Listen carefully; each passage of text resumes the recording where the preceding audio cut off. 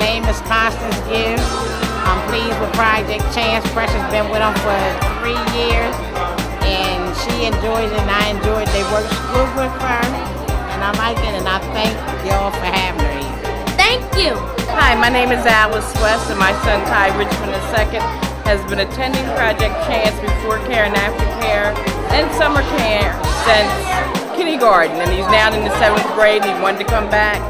My name is Beverly Huff. My son is a fifth grader here with Project Chance. He's been doing an awesome job with all the teachers and with all the trips, and I really like how they concentrate on individualism, try to teach the kids independence and how to be confident in themselves.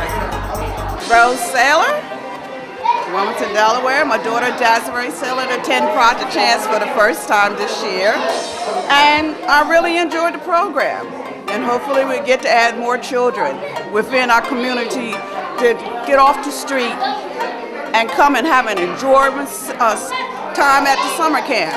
Desiree enjoyed the process we had in creating writing, reading, math, and this is what skills that she was had weaknesses in.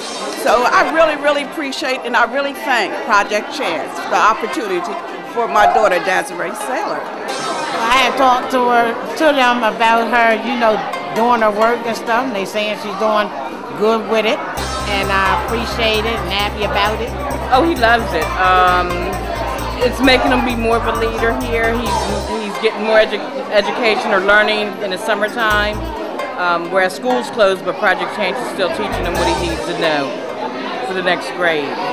Well, we got started since kindergarten, and I came and checked out the program and um, felt as though it would be a good place for him to be um, after school, especially with me working and being a single mother.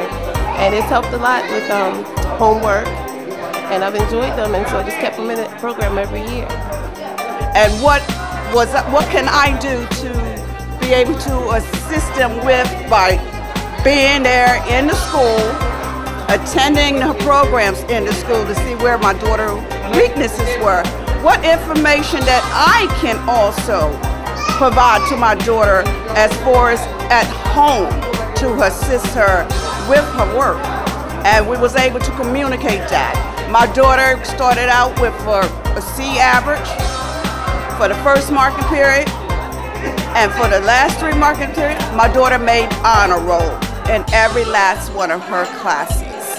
Parents have to work, so my, my son is here just about over half the day, all day long. So um, I enjoyed them being here all summer long.